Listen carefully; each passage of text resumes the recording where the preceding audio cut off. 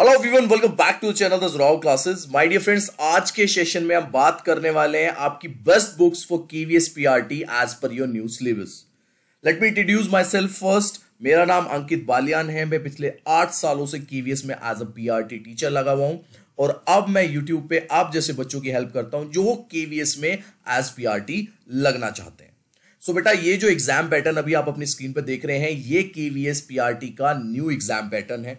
जिसमें आपकी journal English दस नंबर की आनी है, जिसमें दस क्वेश्चन पूछे जाएँगे जर्नल हिंदी दस नंबर की दस question general awareness and current affairs दस नंबर की दस क्वेश्चन रीजनिंग एबिलिटी और कंप्यूटर लिटरेसी पाँच पाँच नंबर की पाँच पाँच क्वेश्चन ये टोटल मिला के आपके फोर्टी कुछ नंबर होते हैं फोर्टी क्वेश्चन के साथ। फिर आते हैं पार्ट थ्री पे perspectives on education and leadership ये बहुत ज़्यादा इंपॉर्टेंट मैं इसको कहता हूँ क्योंकि ये वन थर्ड है आपका। पूरे आपके एग्ज़ाम का एग्ज़ाम पैटर्न का। इसमें आपके 60 क्वेश्चंस पूछे जाते हैं 60 मार्क्स में।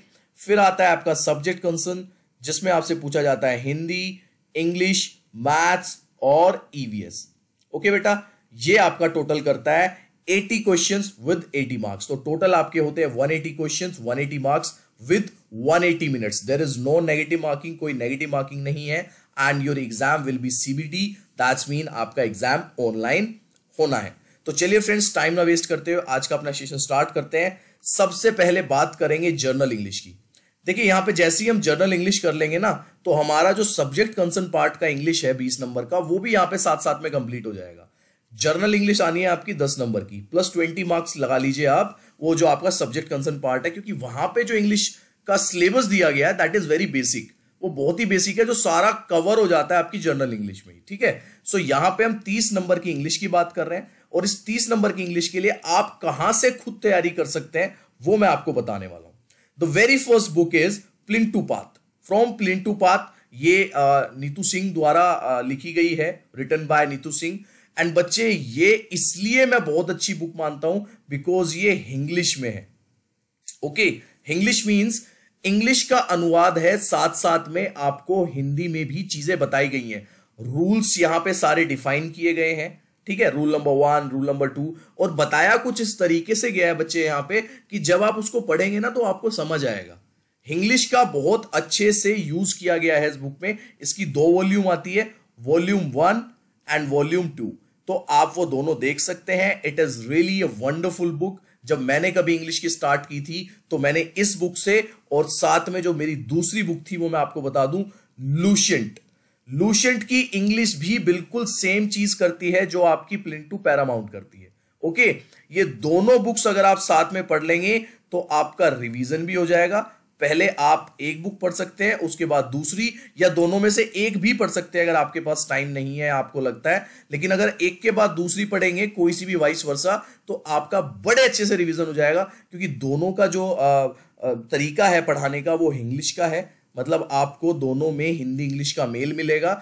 दूसरा, दोनों में रूल्स बड़े अच्छे से डिफाइन किए गए हैं। So for me general English के लिए अगर आप ये दोनों बुक्स कंप्लीट कर लेते हैं स्टार्टिंग से लेके एंड तक तो बेटा इस थर्टी नंबर में आप यहाँ पे ट्वेंटी फाइव प्लस स्कोर कर सकते हैं। दिस इज़ माई विजन अगर आप ऐसा करते हैं तो। ठीक है जी? चलिए नेक्स्ट चलते हैं। नेक्स्ट बात करते हैं आपकी जर्नल हिंदी की। जर्नल हिंदी भी सेम है बेटा। जनरल हिंदी दस नंबर की आनी है प्लस ट्वेंटी मार्क्स की आपकी आनी है सब्जेक्ट कंसर्न में तो यहाँ भी अठत्ती मार्क्स हो जाते हैं। और यहाँ पर भी जो ट्वेंटी मार्क्स की जर्नल मतलब सब्जेक्ट कंसर्न हिंदी आएगी, वो भी बहुत ज़्यादा इजी और बेसिक है। तो अगर आप इस जर्नल हिंदी यानी कि पूरी व्याकरण को कंप्लीट कर लेते हैं हिंदी की तो आपको फिर ये 20 नंबर की तैयारी करने की कोई ज़रूरत नहीं होगी। तो सबसे पहली रिकमेंडेड बुक मेरी जो यहाँ पे रहेगी इट इज़ लूशेंट सामान्य हिंदी वंडरफुल मैं कह रहा हूँ, इससे बेस्ट बुक मुझे नहीं लगती है अगर आप बेसिक्स पे काम करना चाहते हैं अपनी हिंदी के। बहुत अच्छे से हर एक टॉपिक को एक्सप्लेन किया गया है। ये आपको कहीं भी ऑनलाइन स्टोर पे मिल जाएगी, आपके आसपास के घर के जो भी बुक स्टोर्स होंगे आपके, वहाँ पर ये अवेलेबल होगी आसानी से। दूसरी ये बताऊँगा बेटा मैं, शायद आपको मिले या ना मिले। दूसरी बुक है आपकी, हिंदी व्याकरण एवं रचना Prabodh. Okay class nine to tenth. अगर ये बुक आपको नहीं मिलती है तो इसकी पीडीएफ मैं हमारे टेलीग्राम चैनल पर डाल दूँगा, जिसका लिंक नीचे आपको डिस्क्रिप्शन में मिल जाएगा। वहाँ से जाके आप फॉलो कर सकते हैं। मैं ये कह रहा हूँ कि अगर आपने सामान्य हिंदी के बाद ये बुक पढ़ ली ना तो आप हिंदी में महारत हासिल कर लेंगे, मैं लिख के दे रहा हूँ आपको। ये दोनों बुक अगर आप पढ़ लेते हैं, आपके यहाँ पे 30 में से मैं कह रहा हूँ 28 प्लस नंबर 28 या 28 प्लस ध्यान रखना 30 में से 30 भी आ सकते हैं। इन दोनों बुक्स की इतनी ज़्यादा ग्रेविटी है, इसके बाद कुछ नहीं छूना है हिंदी में। ये गारंटी के साथ कह रहा हूँ बच्चे में, ये दोनों बुक्स कंप्लीट कर लेना, इसके बाद कुछ नहीं छूना है। अगर ये वाली बुक नहीं मिलती है, हिंदी व्याकरण एवं रचना प्रबोध तो इसके पीडीएफ से आप इसके नोट्स निकाल सकते हैं फोटोकॉपी वगैरह जैसे भी आपको ठीक लगे प्रिंट आउट ठीक है? इसका जो पीडीएफ है वो मैं नीचे टेलीग्राम में डाल दूँगा, उसका लिंक नीचे डिस्क्रिप्शन में चलिए नेक्स्ट चलते हैं। करंट अफेयर्स बेटा करंट अफेयर्स वैसे तो आपकी पाँच नंबर की आनी है, लेकिन हम यहाँ पे पाँच में से पाँच स्कोर कर सकते हैं करंट अफेयर्स में, अगर हम मेहनत करें इस पर तो सबसे पहली जो मैं बुक बताऊँगा आपको दैट इज़ स्पीडी ये मैं अपने उस टाइम से पढ़ता हूँ जब 2014 में मेरी जॉब लगी थी बच्चे तो करंट अफेयर्स उस टाइम पे 40 नंबर की आती थी। आज तो पाँच नंबर की होगी केवीएस में, उस टाइम पे 40 नंबर की करंट अफेयर्स आती थी, और मैंने मंथली करंट अफेयर्स शायद पिछले तीन या चार महीने की पढ़ी थी सिर्फ़, और उसी में से शायद तीस बत्तीस नंबर की करंट अफेयर्स आ गई थी, पिछले तीन चार महीने की पढ़ी थी। तो ये स्पीडी जो है, ये मंथली भी आती है। मैं सजेस्ट आपको मंथली करूँगा कि मंथली अगर मिल जाए तो इज़ गुड अदरवाइज़ ये ईयरली भी आती है। आप ले सकते हैं। बड़े अच्छे से, बहुत सुंदर तरीके से करंट अफेयर्स के फैक्ट जो है, आपको स्पीडी में देखने को मिल जाते हैं। दूसरी बुक आप सबको पता होगा, पीडी, प्रतियोगिता दर्पण। स्टार्टिंग के 10-12 पेज हर महीने ये मंथली बेसिस पे आती है, सबको पता है आपको। स्टार्टिंग के 10-12 पेज इतने अच्छे नोट्स होते हैं बेटा इसमें। बेस्ट नोट्स होते हैं, उसको आप अपने तरीके से अपने नोट्स में लिख सकते हैं। तो मैं कह रहा हूँ, करंट अफेयर्स के लिए इन दोनों से दूर नहीं जाना। और लास्ट एट मंथ्स की मतलब जब भी आपका एग्ज़ाम है, मान के चलो आपका एग्ज़ाम फैब में या मार्च में है तो उससे पहले आठ महीने की करंट अफेयर्स आपको कंप्लीट करनी है फॉर दोज फाइव मार्क्स और हमें करंट अफेयर्स बहुत ज़्यादा डेप्थ में नहीं करनी है, ठीक है? इस चीज़ का ध्यान रखेंगे क्योंकि नंबर पाँच ही है। तो पाँच नंबर को पाँच नंबर वाला ही टाइम देंगे हम, बहुत ज़्यादा टाइम नहीं देंगे। तो बहुत ज़्यादा डेप्थ में नहीं करनी है ऊपर ऊपर से करनी है और ये काम बखूबी आपकी स्पीडी और प्रतियोगिता दर्पण आपको करा देगी। ठीक है जी? चलिए आगे चलते अच्छा मैं आपको सजेस्ट करूँगा कि जो जर्नल अवेयरनेस वाला पार्ट है, जितनी आपने पढ़ी हुई है जर्नल अवेयरनेस उसको इतनी ही रहने देना अदरवाइज़ इसको स्किप करना, क्योंकि जर्नल अवेयरनेस बहुत बड़ा होता है, जिसमें आपकी political science geography economics civics X Y Z science आती है, उसमें कितना सारा इंटरनेशनल आता है नेशनल आता है, नदियाँ, पता नहीं क्या क्या आता है। तो मैं आपको यहाँ पे इसको स्किप करने के लिए बोलूँगा, क्योंकि हमारे पास इतना समय नहीं है कि हम इन पाँच नंबर 180 में से इन पाँच नंबर के लिए अपना इतना समय वेस्ट करें, ठीक है? नेगेटिव मार्किंग नहीं है। मान लो पाँच में से दो क्वेश्चन आपको आते हैं, तीन में तुक्का लगा देना है, एक वो लग जाएगा तो पाँच में से तीन आपके नंबर वैसे भी बन जाने ये एक प्रैक्टिकल सलाह है आप लोगों को, बाकी आगे आपकी मर्ज़ी। आगे करते हैं रीजनिंग एबिलिटी की बात। बेटा, ये भी आपकी पाँच नंबर की आनी है और मोस्ट प्रोबली अगर आपकी बेसिक्स अच्छी है मैथ्स की तो आपकी रीजनिंग अच्छी होती है। इसके लिए मैं आपको जो बुक सजेस्ट करूँगा that is R S Agarwal के द्वारा एक वर्बल एंड नॉन वर्बल करके रीजनिंग आती है। वैसे तो ये बहुत ज़्यादा मोटी बुक है, लेकिन मुझे रीजनिंग में इससे बेस्ट कुछ नहीं लगता। Number of questions number of questions जो है आपको इस बुक में मिलते हैं और वैरायटी मिलती है। बेसिक से एडवांस तक की। बेसिक से एडवांस तक की आपको वैरायटी मिलेगी इसमें कि पहले बेसिक्स क्वेश्चंस आते हैं, फिर एडवांस क्वेश्चन आते हैं। तो जो मैं कहता हूँ ना कि रीजनिंग में प्रैक्टिस बहुत ज़रूरी है। वो प्रैक्टिस आपकी बहुत अच्छे से हो जाती है। अगर आप इसको नहीं चाहते तो बेटा एसएससी या बैंक की कोई भी अरियंत की या उपकार की भी बुक ले सकते हैं, क्योंकि पाँच नंबर की रीजनिंग आनी है। इस पर हमें वैसे भी ज़्यादा फोकस करना नहीं है। मेन फोकस हमारा पैडागोगी और सब्जेक्ट कंसर्न पर रहने वाला है, ठीक है? सो बट इससे बेस्ट बुक मार्केट में आपके पास नहीं होगी। एस चाँद की ये पब्लिकेशन है, आर एस अग्रवाल ने लिखी है, इससे बेस्ट रीजनिंग के लिए आपको शायद नहीं मिलेगी। साथ साथ में हिंदी मीडियम वाले बच्चे, उनके लिए मैं आर के झा की एक बुक है, वो सजेस्ट करूँगा आर्यंत की। ये भी मैंने करके देखी थी एक बार तो अच्छे क्वेश्चंस क्वेश्चंस का जो लेवल है, वो अच्छा और स्टैंडर्ड है। वैसे रीजनिंग अगर आपको करनी है तो मैं आपको एक और सलाह दूँगा कि एसएससी द्वारा या किसी भी चीज़ के कोई भी क्वेश्चन हो पीवाई क्यूज हो वो ठीक है ना? पीवाई क्यूज से क्या होगा कि आप ना स्टैंडर्ड क्वेश्चन करेंगे। जितने भी क्वेश्चंस करेंगे वो सारे स्टैंडर्ड क्वेश्चंस होंगे एग्ज़ाम में आए हुए क्वेश्चंस होंगे। सो so, अगर आपको प्रैक्टिस करनी है तो पीवाई क्यूज से करें previous year question paper for those five marks और बेटा रीजनिंग में तो पाँच में से पाँच देखो स्कोर करना है। आगे बात करते हैं कंप्यूटर लिटरेसी की। कंप्यूटर लिटरेसी की आज सच मैं कोई बुक आपको सजेस्ट करता नहीं हूँ बट फिर भी पीवाई क्यूज आप कर सकते हैं इस वाली बुक से। ये किरण पब्लिकेशन की है। जिसमें 2015 से लेके और आज तक की डेट में जब भी ये बुक छपी होगी बेटा, वहाँ तक के कुछ प्रैक्टिकल क्वेश्चंस या कुछ फैक्ट बेस्ड क्वेश्चंस जो आपके एग्ज़ाम्स में पूछे जा सके हैं, वो इसमें दिए हुए हैं। तो ये सजेस्ट करूँगा मैं। बाकी कंप्यूटर जो है, उसकी प्रैक्टिकल नॉलेज चेक की जाती है केवीएस में। ये आप ध्यान रखें। केवीएस आपकी प्रैक्टिकल नॉलेज चेक करता है तो उसके लिए बेटा, इस पाँच नंबर के लिए आपके पास लैपटॉप या फिर कंप्यूटर होना नेसेसरी है। क्योंकि जब तक आप वर्ड एक्सेल पावर पॉइंट इन सब चीज़ों को खोलेंगे नहीं, सीखेंगे नहीं, देखेंगे नहीं तो बेटा यहाँ पे थोड़ी सी मुश्किलें आपके सामने आ सकती हैं। तो मेरा सजेशन आप लोगों को यह है सिंपल सा कि भाई कोशिश करो कि कहीं ना कहीं से आपको एक्सेस मिल जाए लैपटॉप या कंप्यूटर का और आप एटलीस्ट ये तीन चीज़ें वर्ड पावर पॉइंट और एक्सेल ये खोल के देख सको। बाकी मैंने भी पूरी कोशिश की हुई है। यूट्यूब पे आपको ये तीनों चीज़ पढ़ाने की तो आप आ, हमारी प्लेलिस्ट चेक कर सकते हैं कंप्यूटर की वहाँ पे एक आइडिया आपको अच्छे से मिल जाएगा कि किस तरह के क्वेश्चन आते हैं और बाकी कोई बुक नहीं पढ़नी है कंप्यूटर के लिए। प्रैक्टिकल नॉलेज लेनी है और आप पीवाई यूज़ कर सकते हो ठीक है जी? दैट्स इट इससे ज़्यादा मैं कुछ बताऊँगा नहीं। आगे बात करते हैं perspectives on education and leadership बहुत ज़्यादा इंपॉर्टेंट है। साठ नंबर का आना है। पाँच सेक्शन में डिवाइड किया है। इस बार केवीएस ने इसको और बड़े लंबे चौड़े जो है वहाँ पे टॉपिक्स दे दिए हैं अलग अलग सेक्शन इन पाँचों सेक्शंस में। तो देखो भाई, जितने भी बीएड या डीएड वाले बच्चे हैं, सबसे पहले तो आपकी बुक्स जो आपने फ़र्स्ट एंड सेकंड ईयर में पढ़ी है, उनकी धूल जो है उन पे से उड़ा देना एक बार, उनको रिवाइज करने के लिए। सबसे पहली चीज़ आपको ये करनी है। दूसरी चीज़ बेटा, जितने भी टॉपिक है आपके रिलेटेड टू साइकोलॉजी और एजुकेशन वो आपको सारे के सारे एनआईएस में मिल जाएँगे। देखिए एनआईएस के कोर्सेज है 501 से लेके 510 तक, ठीक है? और इसमें अराउंड इकतीस ब्लॉक हैं। किसी में तीन है, किसी में दो है, किसी में चार है, इकतीस ब्लॉक है। ये इकतीस के इकतीस ब्लॉक नहीं करने हैं आपको, ध्यान रखना, इस चीज़ का ध्यान रखेंगे। जो हमारे सिलेबस में पूछा गया है, हमें यहाँ से सिर्फ़ वो पढ़ना है। जैसे कि सबसे पहला जो आपका सेक्शन आता है पंद्रह नंबर का जहाँ से पंद्रह क्वेश्चन आने हैं वो डिपेंड मोस्टली जो है वो ग्रोथ एंड डेवलपमेंट पे है। और ग्रोथ एंड डेवलपमेंट जो है आपको इनमें से कोई से भी कोर्स में ज़रूर हंड्रेड एंड वन परसेंट मिल जाएगा।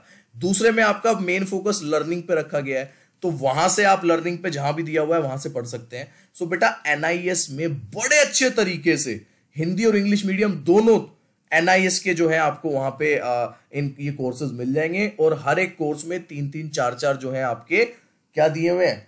ब्लॉक्स दिए हुए हैं, उनको अच्छे से पढ़ लेना, लेकिन पढ़ने सिर्फ़ टॉपिक हैं। ऐसा नहीं है कि एनआईएस के सारे कोर्सेज लेके बैठ गए और उन्हें पढ़ने लगे। सिर्फ़ टॉपिक जो आपको दिए हुए हैं, वो पढ़ने हैं, अपने नोट्स बना लेना। इससे ज़्यादा इसमें कुछ नहीं करना है। बाकी अगर फ़र्स्ट और सेकेंड ईयर की आपने जहाँ डीएड बी की है, वो भी नहीं करना चाहते तो ये कर लेना। साथ में, बेटा इलेवेंथ एंड ट्वेल्थ क्लास की एनसीआरटी की बुक है। तो अपने टॉपिक्स जो आपको सिलेबस में मिलते हैं, वो यहाँ से कर लेना। ठीक है? ये दो चीज़ें करनी है एनआईएस के नो जो आपके कोर्सेज बताए मैंने वो as per your topics okay and the second thing is eleventh and twelfth NCERT book as per your topics कुछ नहीं छुए, इसके अलावा कुछ मत छेड़ना। इसके अलावा कुछ मत छेड़ना, कहीं से कुछ नहीं आएगा, यहीं से आना है, सब कुछ पहले बता रहा हूँ मैं आपको। ओके जी? वंडरफुली एनआईएस के अगर आप कोर्सेज देखोगे, इतना मज़ा आ जाएगा देख के थे तरीके से वहाँ पे कंटेंट दिया हुआ है, क्योंकि मेरे को अभी भी याद आता है, कुछ हिस्टोरिकल पॉलिसीज़ के बारे में आपका एक टॉपिक है। बेटा, सबसे पहला जो ब्लॉक है फाइव ज़ीरो वन उसका पहला और दूसरा चैप्टर यही है। तीसरा चैप्टर आपका आरटी का है। तो तीनों चैप्टर शुरू के 501 ब्लॉक के, जो आपके कोर्स 501 में आते हैं तो बेटा ये तीनों ही आपके कोर्स इसमें दिए हुए सिलेबस में। फ़र्स्ट भी करना है सेकंड भी करना है थर्ड भी करना है। आगे मैंने देखे नहीं थे। बट मैं देख रहा था तो वहाँ से अपने बेहतरीन तरीके से आप अपने नोट्स जो है, बना सकते हैं। ठीक है जी? और साथ साथ में आपकी एनसीआरटी e की बुक्स रहेंगी इलेवेंथ और ट्वेल्थ क्लास की बट वही चीज़ पढ़नी है जो आपके टॉपिक्स दिए हुए आगे बात करें सो बेटा गजट्स होते हैं। ये देखिए, भारत का राजपत्र द गजट ऑफ़ इंडिया अब ये क्या है? ये है आपका पोक्सो एक्ट ठीक है? पोक्सो एक्ट 2012 की हम बात कर रहे हैं। क्यों बात कर रहे हैं? क्योंकि आपके सिलेबस में चाइल्ड राइट्स की बात की गई है। और चाइल्ड राइट्स में जब आप बच्चे की बात करते हैं तो पोक्सो एक्ट सबसे ऊपर आता है। सो so, इसका आप गजट पढ़ेंगे खुद से। गजट आपको सारे का सारा जो है गूगल पे मिल जाएगा। अदरवाइज़ मैं कह रहा हूँ कि ये सारी चीज़ें मैं अपने हमारे टेलीग्राम ग्रुप में डाल दूँगा टेलीग्राम चैनल पर डाल दूँगा। उसका लिंक नीचे डिस्क्रिप्शन में है उसको जाके ज्वाइन कर लेना। आदत डालिए गजट पढ़ने की। आरटी पढ़ना है ना? गजट डाउनलोड करो उसका और उसको पढ़ो। मैं कह रहा हूँ, इससे बाहर कुछ नहीं आएगा। उस गजट में सब कुछ दिया हुआ है। आदत डालिए ऑथेंटिक सोर्स से पढ़ने का। बहुत सारे बच्चे क्या होते हैं, सर, कोई किताब बता दो केवीएस के लिए, जिसमें सारे सब्जेक्ट हो, एक ही बुक में सारे सब्जेक्ट बेटा, कभी मत पढ़ना। कभी मत पढ़ना, बेवकूफ़ बन जाओगे बिल्कुल। कोशिश कीजिए कि जितने चीज़ों के गजट मिल जाए आपको, आप गजट पढ़िए, गजट से अपने नोट्स बनाइए। दूसरी चीज़ बहुत इंपॉर्टेंट इस बार आने वाली है आपकी नेशनल एजुकेशन पॉलिसी बेटा, ये ड्राफ्ट है, हिंदी, इंग्लिश दोनों में मिल जाएगा आपको। कितने? साठ पेजेस का है। इसको ऊपर ऊपर से पढ़ लेना। वैसे तो उसको मैं बहुत ज़बरदस्त तरीके से अपने जितना भी मेरे से होगा, वो यूट्यूब पे भी कराऊँगा और कोर्स में भी दूँगा। वो मेरी हेडेक है। बट अगर आप खुद तैयारी कर रहे हैं तो एनईपी e आप ये साठ पेजेस का एक ड्राफ्ट है, हिंदी, इंग्लिश दोनों में मिलेगा। इसको ज़रूर करना है। बहुत ज़्यादा इंपॉर्टेंट है। मेरे हिसाब से यहाँ से चार से पाँच नंबर के क्वेश्चन इस बार आपसे पूछे जा सकते हैं। एनईपी e से ओके उसके बाद बात करते हैं बेटा निपुण भारत की। National initiative for proficiency in reading with understanding and numeracy Nipun Bharat, ये पार्टी है आपका एक एनईपी e का। और बेटा निपुण भारत में ही आपका एफएलएन है फाउंडेशन लिटरेसी न्यूमरेसी और कंप्यूटर बेस्ड लर्निंग जिसे कहते हैं आप सीबीएल वो भी आपका निपुण भारत के अंडर ही आता है, जो आपके सिलेबस में दिया हुआ है। तो ये जो है, ये तो वैसे 300 पेजेस का ड्राफ्ट है बट कोशिश कीजिएगा कि जितना हो सके एटलीस्ट ये टॉपिक्स एफएलएन हो गया सीबीएल हो गया, जो आपके एक्सपीरियंस इन लर्निंग हो गया, जो आपके सिलेबस में दिए हुए हैं, वो आप यहाँ से निपुण भारत से कर लेना, ठीक है? तो एनईपी का ड्राफ्ट और निपुण भारत, ये तो 101 परसेंट कंप्लीट करने हैं साथ साथ में जितने भी आपको गजट मिल सके एज पर योर सिलेबस वो पढ़ लेना, ठीक है बच्चे? बाकी हम हैं आपके साथ इस, जिस तरीके की ऑथेंटिक न्यूज़ और ऑथेंटिक सोर्सेज बता रहा हूँ मैं आपको कि आप कैसे तैयारी कर सकते हो, आगे भी हम आपके साथ ऐसे ही कराते रहेंगे। चलिए, आगे चलते हैं, ये होगी, अब करते हैं ईवीएस की बात। तो बेटा ईवीएस जो है, वो छह थीम्स है ईवीएस की। उसमें जो है ईवीएस का सिलेबस जो 20 नंबर का आना है, वो केवीएस ने डिवाइड कर दिया है, ठीक है? और वो छह थीम कहाँ पे है? वो क्लास थ्री टू फाइव में ये क्लास थ्री की ईवीएस की बुक है क्लास फोर क्लास फाइव अब मुद्दा ये है कि उन्होंने ट्वेल्थ क्लास तक कह दिया है कि वो डेप्थ चेक कर सकते हैं। ठीक है? इस चीज़ के बारे में मैं कल भी बता चुका था आपको, जो मैंने ईवीएस वाली क्लास ली थी, जाके देख सकते हो आप उसको। बेटा, हमारी प्रायोरिटी पहले थ्री टू फाइव ही रहेगी। इस चीज़ का ध्यान रखेंगे आप। उसके बाद थ्री टू फाइव में जो टॉपिक्स हैं, इन टॉपिक्स के अकॉर्डिंग हम सिक्स सेवेंथ एंड एट की साइंस की बुक्स पढ़ेंगे और उनके नोट्स बनाएँगे। ठीक है? ये ध्यान रखेंगे, जो मैंने फिर से कहा, मैं फिर से बता रहा हूँ आपको। थ्री टू फाइव के जो टॉपिक्स हैं, हमारी प्रायोरिटी सबसे पहले क्लास थ्री टू फाइव रहेगी। उसके बाद class six seven and eight के वो सिमिलर टॉपिक्स जो क्लास थ्री टू फाइव में पूछे हुए हैं, उनको हम यहाँ से तैयार करेंगे। ठीक है जी? बाकी कुछ नहीं करना है इसमें। नाइन्थ एंड टेंथ का जो हमारे कोर्सेज के बच्चे हैं, उन्हें अच्छे से पता होगा। हमने नाइन्थ एंड टेंथ और मैं कह रहा हूँ कोर्सेज नहीं। अगर आप हमारे साथ जुरावर क्लासेस से जुड़े हुए हैं तो बेटा डेप्थ तैयारी कराई हुई है हमने आपकी। मोशन ले लो या एक्सवाइजेड कोई भी टॉपिक हो कम से कम 200 वीडियोस आपकी साइंस पे मिल जाएँगी हमारे यूट्यूब यूट्यूब पे। ओके तो नाइन टेंथ यहाँ से कवर हो जाएगा। सिक्स सेवेंथ एट हम कर ही लेंगे, लेकिन हमारी प्रायोरिटी पहले थ्री टू फाइव रहने वाली है। अगर आपको भी करना है तो आप इस तरीके से तैयारी कर सकते हैं। बात करते हैं मैथ्स की। मैथ्स भी बहुत ज़्यादा बेसिक दे दिया। बेसिक क्या दे दिया? Class one to five NCERT वही। जो सेम चीज़ ईवीएस के साथ की है, वही बेटा किसके साथ की है आपकी? मैथ्स के साथ। Class one to five maths का सारा का सारा जो आपका सिलेबस था, वो एज इट इज़ उठा के डाल दिया। मैंने बताया हुआ है कि कैसे करनी है मैथ्स की तैयारी वाली वीडियो में, ठीक है? तो ये सारी चीज़ें आप यहाँ से कर सकते हो बट मैं मैथ्स में आपको सजेस्ट करूँगा कि अपनी तैयारी वही बेसिक टू एडवांस वाली करनी है, जिसमें आप बेसिक्स भी सीखते हैं सारा, सब कुछ करते हैं और एडवांस लेवल तक जाते हैं। ज्योमेट्री ऐसी नहीं है कि सर्कल पे ही आके रुक गए। ज्योमेट्री आपको टेंथ क्लास तक ही करनी है, जो हम पहले कर रहे थे। मतलब मैथ्स का सिलेबस जो हम पहले तैयार कर रहे थे ना, वो सेम करना है बस। सिंपल सा ये रखो। जिनकी मैथ्स बिल्कुल वीक थी या ज़ीरो है, उन्हें कहूँगा मैं कि ज़्यादा ध्यान मत दो मैथ्स पे। जो आएगा, आ जाएगा। क्या पता बिल्कुल ही इजी मैथ्स आ जाए, कुछ नहीं पता है, क्योंकि इन्होंने वन टू फाइव वाला सिलेबस दिया है। बट मैथ्स की तैयारी आप वही जारी रखेंगे, जो पहले करते थे, और मैथ्स जो आपका कॉम्पिटेटिव मैथ्स होता है, आप उसी हिसाब से मैथ्स की तैयारी करेंगे। तो बेटा ये सारी चीज़ें हैं जो मैंने बता दी। सब्जेक्ट कंसर्न में हिंदी और इंग्लिश मैंने पहले ही बता दिया था तो ये आपके 180 मार्क्स कंप्लीट हो जाते हैं। अब बात करते हैं बेटा कोर्स कुछ बच्चे हमारे कोर्स से भी जुड़ना चाहते हैं। अगर आप जुड़ना चाह चाहते हैं तो बेटा हम पीआरटी का कोर्स प्रोवाइड कराते हैं आपको एज पर न्यू सिलेबस जिसमें हमारी क्लासेस जो है वो रिकॉर्डेड होती हैं। 400 प्लस क्लासेस रहने वाली है आपकी वीडियो फॉर्म में प्लस इसमें आपको नोट्स भी मिलने वाले हैं स्पेशली ईवीएस e के, ठीक है? क्लास थ्री टू फाइव और six to eight similar topics के तो ये कंप्लीट कराएँगे हम आपको। उसके बाद दस मॉक टेस्ट हम प्रोवाइड कराने वाले हैं। नए पैटर्न पे जो 180 मार्क्स वाला है डाउट सेशन टेलीग्राम कम्युनिटी हमने आपके लिए बनाई हुई है, जिसमें अराउंड 1200 प्लस बच्चे इस टाइम जुड़े हुए हैं। वहाँ पे क्या होता है कि अगर आपको कोई भी प्रॉब्लम होती है you just post your question तो वहाँ पे क्वेश्चंस के आंसर्स जो है बच्चे ही दे देते हैं मोस्टली अगर नहीं होते हैं तो फिर मैं एक दो बार आके मैं देख लेता हूँ वहाँ पे, ठीक है? सारा सिलेबस जो है हमने एनसीआरटी बुक e से कवर करने की कोशिश की है इसमें, जितना हम कर सकते हैं। उसके बाद साथ साथ में इसमें आपको इंटरव्यू की प्रिपरेशन भी कराई जाएगी इसी कोर्स में। बेटा, आज का जो इसका प्राइस है it is two five double nine हमारा कोर्स का price daily hundred rupees increase हो रहा है। ये कल टू फोर डबल नाइन था, उससे पहले एक दिन टू थ्री डबल नाइन था। और आने वाले कल, यानी कि कल जो आएगा, उसमें हो जाएगा टू सिक्स डबल नाइन तो अगर आप हमारे साथ जुड़ना चाहते हैं तो बेटा द जुरावा क्लासेस की ऐप द जुरावा क्लासेस की ऐप आप प्ले स्टोर से डाउनलोड कीजिए। उसके बाद स्टोर सेक्शन में जाएँ। स्टोर सेक्शन में जाने के बाद आप केवीएस पीआरटी का जो हमारा कोर्स है, उसमें एनरोल कर सकते हैं। एक और चीज़, जिस तरीके से मैंने आपको यहाँ पे बताई है सारी चीज़ें, कि मैं किस तरीके से आपको तैयारी कराने वाला हूँ, ठीक है ना? ये ये जितनी भी चीज़ें हैं कि सारा गजट्स आप देखो तो बेटा हमारे कोर्सेज की जो ऑथेंटिसिटी है, वो यही है कि जब भी कोई कंटेंट बनाया जाता है तो वो इन्हीं ड्राफ्ट से या इन्हीं गजट्स को उठा के बनाते हैं हम। जो मैंने आर दिया हुआ है, आरटी आपको पढ़ाया हुआ है, वो सारा आर गजट जो था आपका, वहीं से लिया था, किसी दूसरे की हेल्प नहीं ली थी। जो मैंने एनईपी पढ़ाया था तो एनईपी ये साठ पेजेस का जो आपका ड्राफ्ट है, यहीं से उठाया था सारा। किसी का सोर्स गूगल से, या किसी की वीडियो देख के, या किसी की किताब पढ़ के नहीं किया था। भारत सरकार ने आपको चीज़ें ऑफ़र की हुई हैं सारी तो वहाँ से करो। मैं कहता हूँ एनसीएफ बच्चे पता नहीं कहाँ कहाँ से पढ़ते हैं। अरे एनसीआरटी की बुक्स है ना आपकी उसके स्टार्टिंग पेज पे आपको एनसीएफ मिल जाएगा। कहीं से पढ़ने की ज़रूरत नहीं है। एनसीएफ 2005 मिल जाएगा। तो बेटा ये ऑथेंटिसिटी होती है। तो हमारा जो आ, आपको कंटेंट देने का वो रहता है वो ऑथेंटिक ही रहता है हमेशा। तो आप हमारे साथ बिल्कुल बेहिचक जुड़ सकते हैं।